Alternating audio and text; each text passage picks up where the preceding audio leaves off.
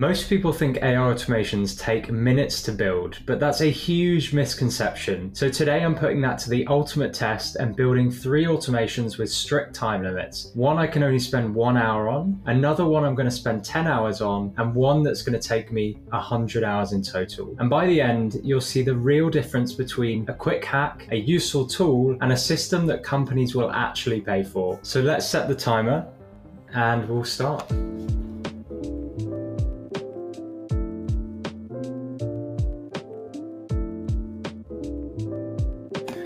So we just finished the first hour, and I wanted to build something that would just be a little bit of fun, something that I could use every day. And as you can see, it's a single workflow connecting two of my services which are Google Calendar and Google Mail. And I could have done this with any two services. So at 9 a.m. each day, it reads all the events in my calendar, returns all those events, and then formats them into a nice format and effectively sends me this very simple email happy Wednesday, gives me the day, and then says, These are your emails for the day. Instead of going into my calendar every, every morning, it's going to send me this email with all the info for the day. It basically has no logic here. There's no areas where it's if this happens, then this, so no conditionals, and also no error handling. So it works, and we've We've completed that in an hour, but it's probably what I call a shallow workflow and likely to break under any sort of scale. You don't really, in an hour, create very much business value with this kind of automation. And if I just think about where it falls short, it's pretty much everywhere, right? Firstly, if I think about it, is it actually that useful when I could just look in my calendar? Like it shows me what is possible from an automation standpoint, but doesn't actually add any value to my day to day. It's a complete linear path, so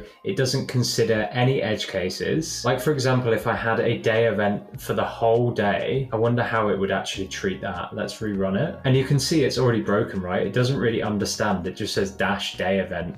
It doesn't actually put any of that detail. And ultimately, what I'm doing is just connecting two services together that are usually separate services. So in an hour, you can build something cool, but it's not a system. It's a shortcut or a little bit of a gimmick, a little bit of fun, and a demonstration of what's possible. So it gives me some great learnings for going into the 10 hour build because I'm now going to start building a system that helps me with something that my business has to do, which is invoice reconciliation. So you probably know the pain matching receipts to invoices manually.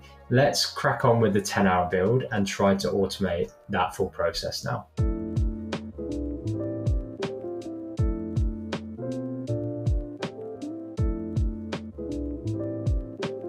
Okay, so we're five hours into the 10 hour build now, and it doesn't look like much for five hours, but everything is being tested as we go along. So it does take quite a bit of time. And these things always take longer than you think they're going to actually take in practice. And I honestly thought at this point, I could probably do this part of the flow in two hours, but here we are anyway. So the first part of the flow that we set out to build is actually working, working really well. So we're monitoring our emails, we're working out whether this is a transaction email or not, i.e., should we ignore it or should we actually process it? And then extracting that text from the email and determining does it have a file attached to it? If it has a file, then we're going to actually process it. If it doesn't have a file, then we're going to follow this second path, which we've not moved on to yet. If it does have a file, let's store that in our Google Drive.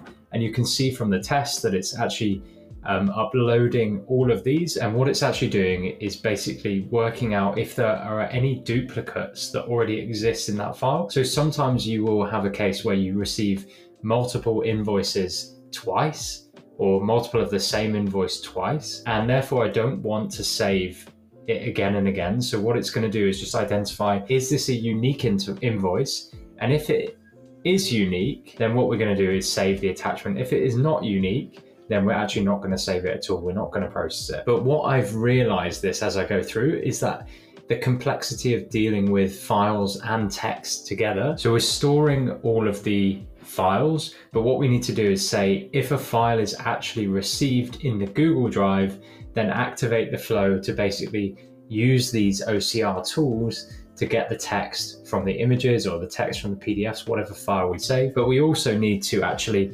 process the text in the same way from the actual email. So we will have this attachment reaching down to these next steps, which we already mapped out, but we will have this additional flow trigger probably somewhere over here that says if a Google Drive file is received, then we should also take that information and summarize it. So both paths are going to converge on this section here. We just need to figure out how to actually put that all together now and introduce the different areas where we summarize and actually find matching transactions. And these are the exact kind of edge cases that you realize when you invest a little bit more time into your automations and you go through and you're taking that time and you're testing every step as you go through.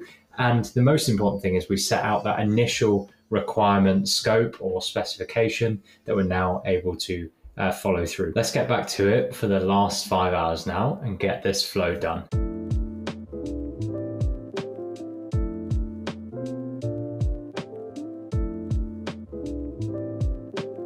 Okay, so we're done.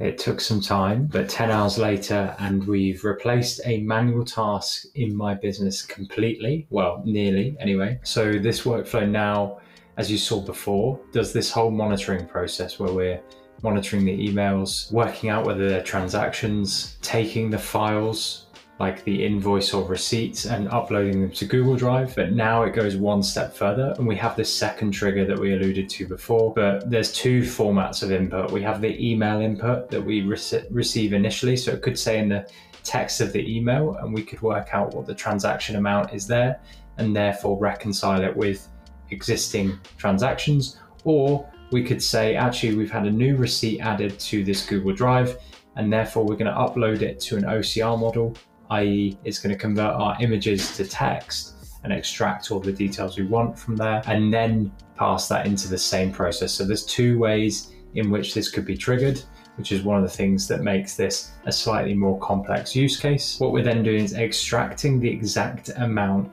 from either the email or the invoice. And that's because I found during testing, it's the best way to actually reconcile it against a specific transaction in our in our Google Sheet, and we're just going to sort that by newest so that we're most likely to get the correct thing. And then what we're doing is basically going over each item that's passed in because we can have multiple passed in and trying to find and match that transaction. So we have the comparison of the data that we've received from the email or from the file and trying to match it to a live banking transaction. If that's found, we then update and put all that information together in a row so it's nice and clean. But if we don't find it, we've got a human supervision check here where we actually append it to a list and we go and we're able to manually then reconcile those so they don't just disappear into the void. So it monitors my emails for invoices, it matches them against transactions and saves all the files ready for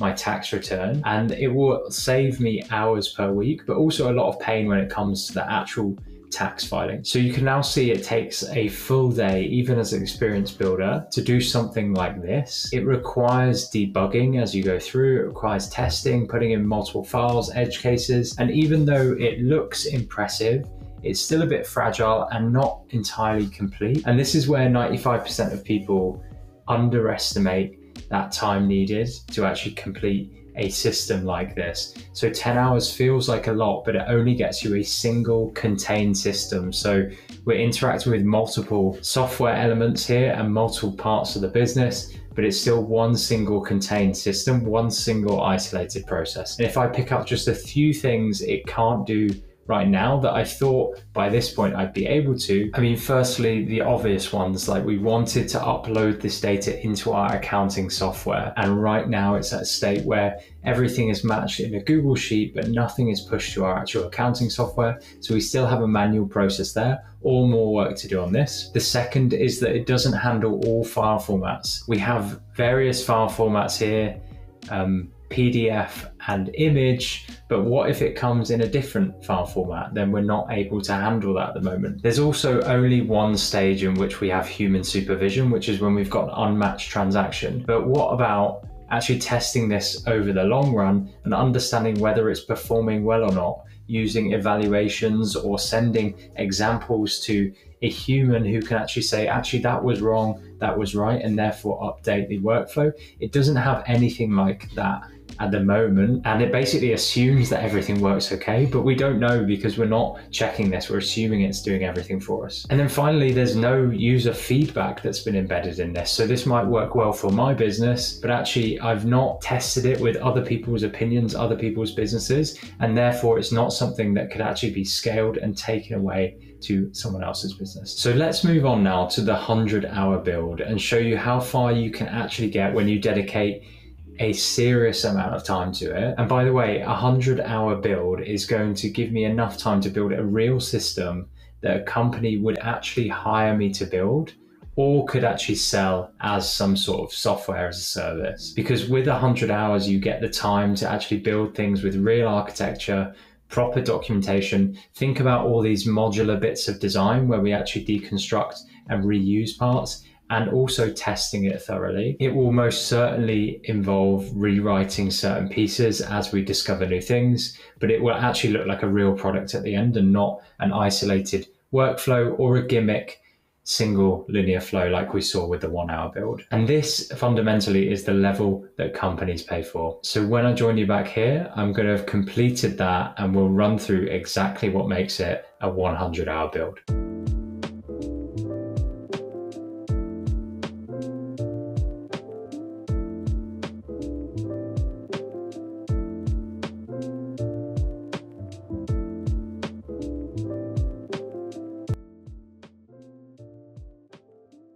So you've seen that a one hour build creates shortcuts. A 10 hour build automates one isolated business task and connects a few different systems. But it is honestly where most people hit the ceiling because that's when the complexity starts to grow and things to start to break. So the professional tier, the 100 hour build, is where you're building actual products and realistically, it's going to take more than 100 hours. 100 hours might get you to a version, but it will be continuously improving this as well. You can, of course, build systems that sustain themselves, but what you want to do is improve those over time. And we're aiming to build a system here that actually agencies can use or businesses can use to replace agency functions or will just save a business time or money. So the planning process on this is much more thorough. So we built an SEO blog content writing system that's taken us 100 hours. So it's supposed to be the best in class AI blog writing system. So every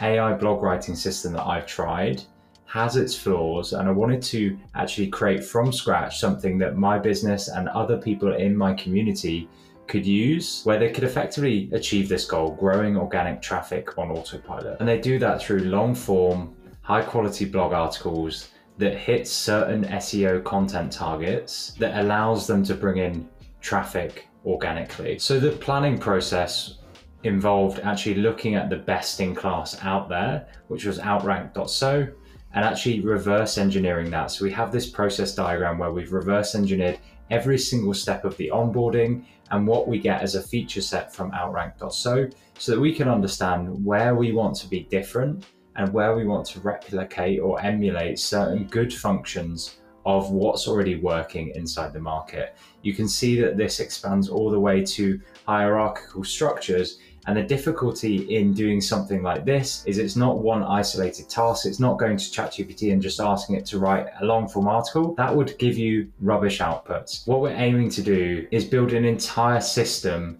that actually helps you properly rank. And agencies make thousands of dollars every month trying to do this manually. So we're replicating real hard graft work. And to do that, you have to have a lot of time invested in the planning to understand each stage, what you need to build out, and ultimately version control. So we knew we'd need a front end, somewhere to store the data, and a content creation set of tools, including N8N, some APIs to get some SEO target keywords, etc. And we basically split this down into two versions. But the point of me telling you this is actually throughout it, you will start building in a modular way. You'll build different functions. And we can see inside the workflow itself, it's actually split down into around 14 different workflows, some with even sub workflows coming off those, because this is a really complex task to achieve. And this wasn't done in one pass. There were some things that we were unable to do in the 10 hour build that we've now had the time to be able to do. That includes version control. So you can see this is now on version 4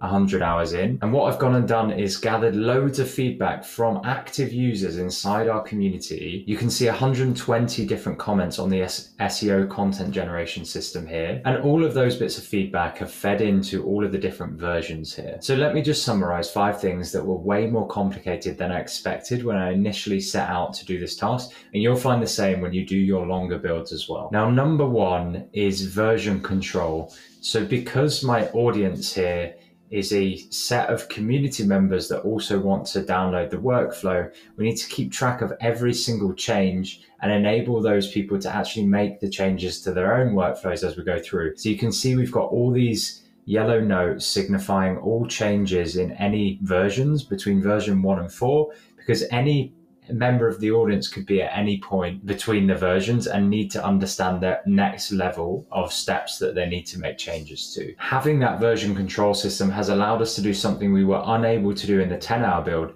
which is actually gather feedback from the users and implement that into multiple versions. And it goes to show that you shouldn't release a perfect version. You should actually release a version as quickly as possible and then get feedback on that so that you can then release future versions and get as much feedback as possible. So inside here, you can see that we've got 120 comments all around this SEO content system and actually gathering that feedback. However, when you're dealing with something so large as this automation was 14 different sub workflows, you need a way to segregate that data. So we stored the data in Airtable, but as we go through, you can see there are so many different tables here that actually what we need to do to have users use it is actually segregate that information to only the journey that we want a user to take. And therefore, we've created a separate UI for this, which again, we were unable to do with our isolated task in the 10 hour build. Through that testing, we were then able to also identify some key errors that kept occurring.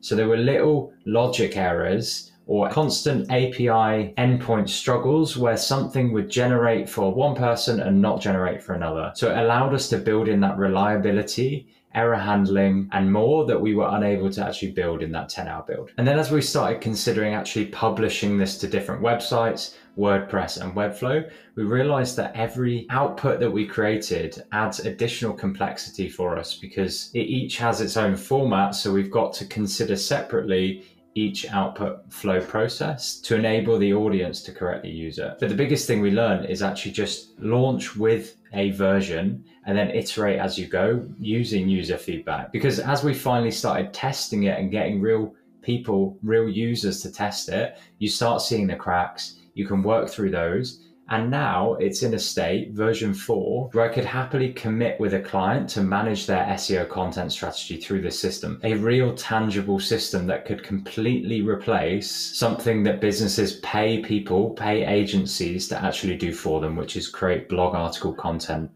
on repeat that's high quality and ranks well on Google as well as AI LLMs like ChatGPT. And by the way, if you want to get access to this or any of the other systems we've spent over 100 hours building, then you can go to skool.com slash scrapes and join the community there. And you can download these all as part of your monthly membership. One hour build, great for beginners. You can build something fun, useful, but it is going to be shallow and you're not necessarily creating that business value. You will be able to potentially create a shortcut or see what's possible. But the 10 hour build is where we really start to see the potential in automation, where most people end up hitting the ceiling. You saw us automate one solid biz- business task, our invoice passing process, but we couldn't quite finish it in 10 hours. It wasn't enough, despite us thinking it was going to be. And you saw also that things break, complexity grows, and debugging actually takes time, which took us to the final 100 hour build the complete professional tier. Now we've just seen how modular and broken down that workflow was because this is actually replacing the entire system or agency work and businesses would pay for this kind of stuff. And the reason that agencies charge for this kind of stuff is because it's got reliability, it's got complete structure, you can actually scale it, and it's got real world business outcomes which help you rank on Google. So now you've seen the difference between a one hour 10 hour and 100 hour build. You can check out the community link in the description because we've also got 100 hour build systems that you can plug and play for lead generation, LinkedIn content creation, and obviously this SEO content generator too. And if you want to build these kind of systems yourself from scratch, then watch this next video where I break down the full thought process for this exact SEO content generation system in a six hour marathon.